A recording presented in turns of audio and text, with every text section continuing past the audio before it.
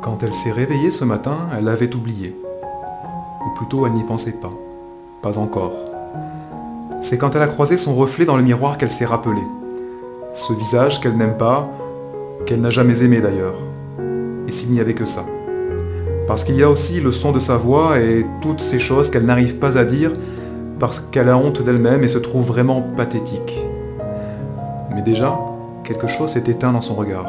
C'est fini pour aujourd'hui. Non, définitivement, elle ne s'aime pas. Mais au fait, vous la connaissez peut-être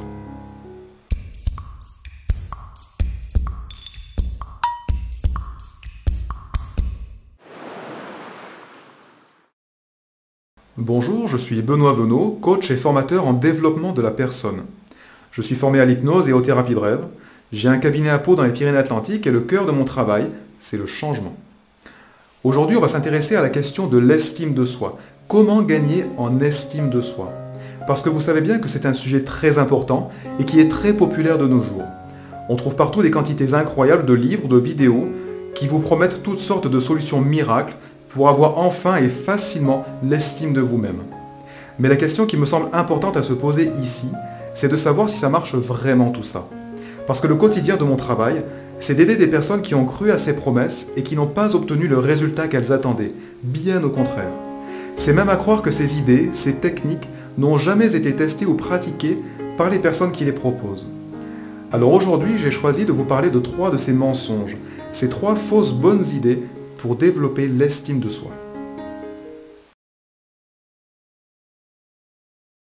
La première erreur, c'est de penser en termes binaires. Il y aurait d'un côté ceux qui ont de l'estime pour eux-mêmes et les autres.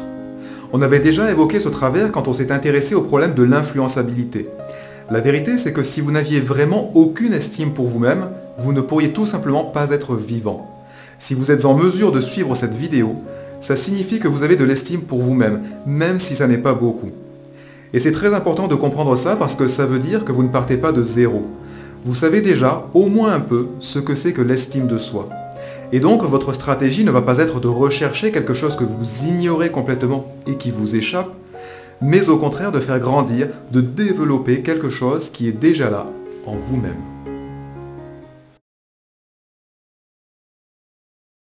La seconde erreur, c'est de croire que vous devez corriger vos défauts. C'est faux. Enfin non, c'est vrai, mais pas pour cette raison-là. Bien sûr, c'est important de travailler à corriger ses défauts, de remédier à ses faiblesses mais c'est important parce que vous sentez que ces travers vous empêchent d'être aligné avec vos valeurs, parce qu'ils viennent créer une forme de dissonance à l'intérieur de vous-même entre ce qui vous semble juste et ce que vous faites. Mais l'estime de vous-même, ça n'est pas quelque chose que vous allez acquérir lorsque vous serez devenu parfait. Parce que ça voudrait dire que vous ne la méritez pas aujourd'hui avec vos qualités et vos défauts. Et ça, c'est un très grand piège dans lequel on tombe souvent quand on travaille à son développement personnel. C'est de croire que l'on doit devenir quelqu'un d'autre. En fait, plus vous allez vouloir développer ce que l'on appelle généralement des qualités, et plus vous risquez de vous éloigner de vous-même en cherchant à ressembler à un personnage imaginaire qui vous fera ressentir toujours plus combien vous en êtes loin. N'hésitez pas à regarder à nouveau le sujet sur le charisme authentique pour approfondir cette idée. La troisième erreur, le troisième mensonge, et c'est peut-être le plus gros parce qu'on l'entend vraiment partout, c'est de croire que vous devez absolument arriver à vous aimer.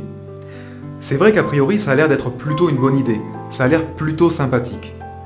Mais la question qui est importante ici, c'est de savoir comment on fait ça. Je ne sais pas vous, mais moi je n'en connais pas beaucoup des trucs, des astuces pour aimer quelqu'un sur commande. Une sorte de filtre d'amour qui ferait que tout d'un coup, vous vous mettiez à aimer votre voisin qui écoute de la musique à fond toute la nuit, celui qui a rayé la portière de votre voiture toute neuve, ou votre collègue qui a pris le dernier carreau de chocolat dont vous rêvez depuis ce matin. Probablement que tout ça c'est possible pour quelqu'un qui a atteint un très haut niveau d'éveil spirituel. Mais pour la majorité d'entre nous, aimer n'est pas quelque chose qui se décide, y compris pour soi-même. C'est plutôt quelque chose qui arrive.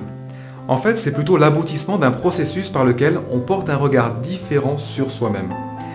Et encore une fois, il n'est pas nécessaire de s'aimer pour commencer à avoir de l'estime de soi. Alors, au lieu de penser je dois absolument m'aimer, on pourrait dire je vais apprendre à me respecter davantage. Je vais essayer d'avoir plus de compassion pour moi-même parce que j'en suis là aujourd'hui. C'est ce qui va nous permettre de basculer dans un processus actif d'apprentissage au lieu de rester paralysé par la perspective d'un objectif utopique pour le moment. Au final, on voit bien qu'un bon nombre d'efforts que l'on peut faire dans le but légitime d'améliorer l'estime de soi vont en fait être contre-productifs. Alors on pourrait dire que la clé vraiment essentielle qui va nous permettre d'avancer concrètement dans cette direction, ça va être notre capacité à nous accepter tels que nous sommes aujourd'hui. C'est d'être en mesure de dire, ok, je suis comme ça aujourd'hui et je ne suis pas en paix avec ça.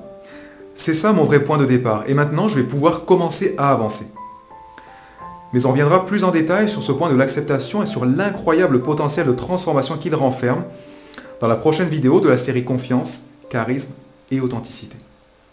A bientôt